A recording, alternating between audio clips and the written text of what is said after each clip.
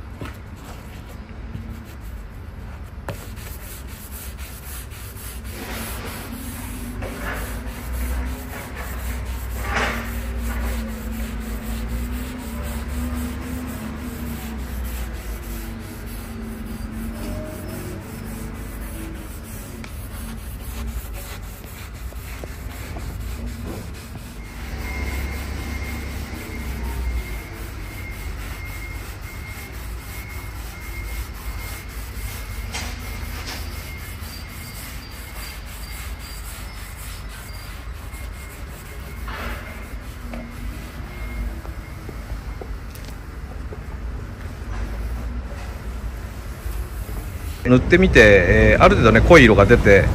木目がやっぱこう欅にすごいね似てますね。似てるんだけど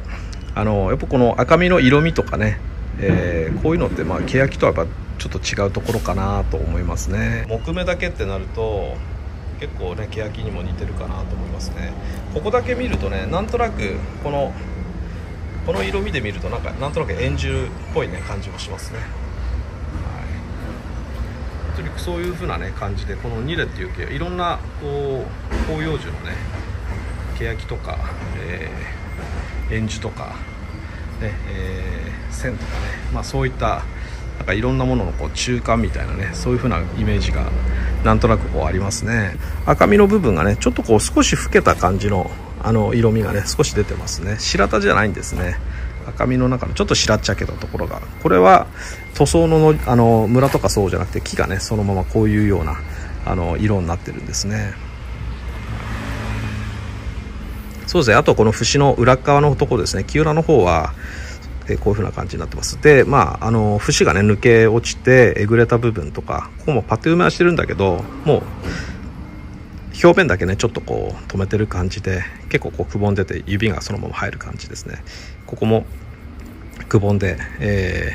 ー、くぼんでる状態で、まあ、最低限のパテ面とどめてます。まあそれでもねまあ普通に生活して使う分にはそんなにそんなに問題はないのかなと思いますね。はい、ここなんかもねぐーっとね引っ込んでんだけど、まあ、気をつけてね使うっていう感じだったらこれはこれで本当に、えー、普通のそういうようなね売られてるものにはない加工の仕方だから、あ、それはそれで、えー、ね、こう自然を楽しむっていう意味では面白いかなと思いますね。はいまあ、あえてねこういう風な感じで仕上げてます清表の方がだいたい40センチから45センチくらいが平均値だとするとだいたい47、8センチくらいが平均値なのかなっていうところですね若干清表よりもね、えー、木浦の方がこう広い面を使えるっていう感じですね。はいまあ、もちろんね、えー、木浦にして使ってもいいのかなと思うんだけど好みの分かれるところかなと思いますね。はい。まあ、あの耳が全くこう逆転するので木浦は木浦でね、えー、板の形が木浦にするとね、えー、清表とは違うこうまた全然違ったこうシェイプでね、えーこう形を映し出してくれるのでその辺はこう表面にした時とはねガラッと変わるところかなと思います。木裏の方はね以上になります。はい、またね、えー、引き続き今度は反対にして清表の方を塗っていきます。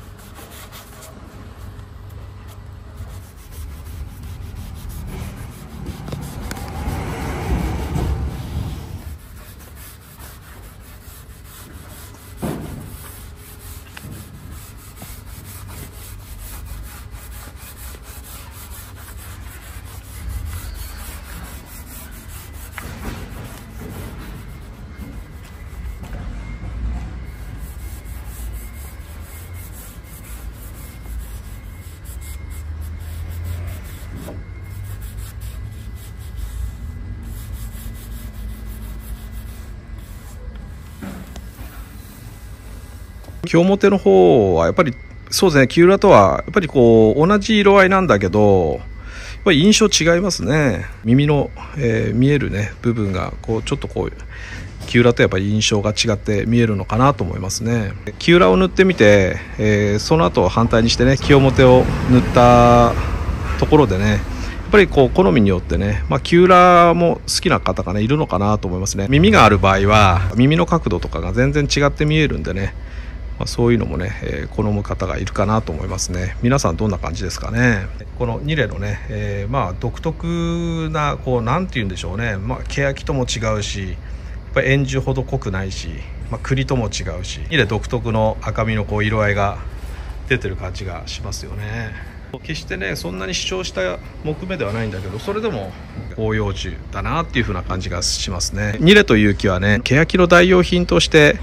使われてたね、えー、こう歴史があるのかなと思いますね。特に戦後は、まあ、仏壇だったりとかあのそういう民芸のタンスものとかねあの着色して欅色っていう風なのが結構ね、えー、あって漆塗りされた欅のような感じで欅と本当にね、えー、見間違うようなそれぐらい本当にやっぱりもうあのよくね仏壇タンスなんかにはねあのこの2例はね結構使われてたのかなと思いますね。うちは着色しないんですけども、まあ、着色、まあ、しないでねこういう風なプレーンな本当キーそのもののこう、ねえー、オイルだけでね、えー、濡れ色をこう楽しむっていう風な感じだと他の木とはやっぱ違うこの2例独特のこう色合いというかねそういったところでねやっぱ欅とは違うし円樹とは違うしっていう風な感じでまこの木オンリーワン感がねやっぱ出てくるのかなと思いますね。幅がだいたい40センチから45センチくらいの木表面で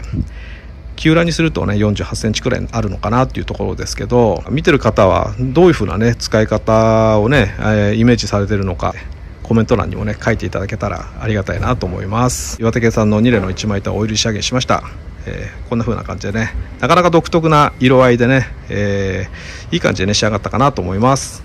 ご視聴ありがとうございます。ん？うん。色いいよね。なんだろうね。だから